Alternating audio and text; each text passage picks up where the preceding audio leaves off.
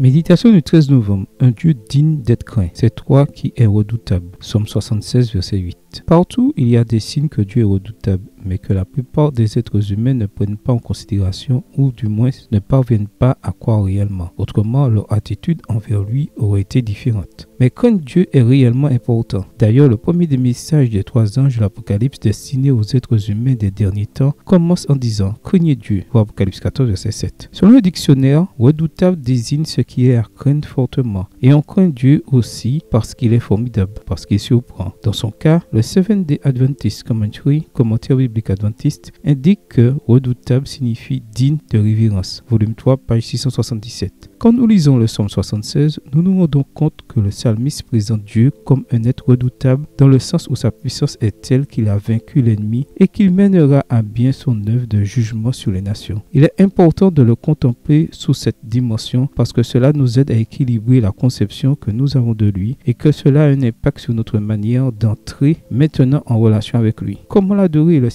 Un évangile qui ne met l'accent que sur le grand amour de Dieu sans inclure sa justice, sa sainteté et son jugement n'entraînera pas une vie spirituelle équilibrée. Dieu est surprenant, digne craint dans le sens d'être révéré, obéi et sérieusement pris en compte. Son invitation à venir à lui, l'assurance de son amour et de son pardon constant ne doivent pas nous amener à tomber dans une familiarité dépourvue de révérence et d'obéissance. C'est pourquoi Dieu lui-même a demandé aux prêtres d'autrefois si je suis maître, où est la crainte qui m'est due? Malachie 1, verset 6, version Nouvelle Bible second. Je vous demande aujourd'hui où est votre crainte de Dieu? Notre révérence envers Dieu repose sur la connaissance de sa sainteté. Voir Somme 99, verset 3. Nous ne pouvons donc le chercher en ayant une préférence pour le péché. Nous savons qu'il est un feu dévorant, voir Deutéronome 4, verset 24, par lequel ceux qui le renient par leur manière de vivre seront consumés. Il est jaloux, voir Exode 34, verset 14, et il n'accepte donc pas que nous ayons un autre Dieu. Nous le craignons parce que nous savons qu'au jugement, il sauvera ceux qui le craignent. Ou Apocalypse 11, verset 18. Le chrétien spirituellement équilibré craint Dieu parce qu'il mérite la révérence. Et la meilleure manière de lui montrer est de haïr le mal. Voir Proverbe 8, verset 13 et de faire le bien. Amen. Bonne journée à vous et que le Seigneur vous bénisse.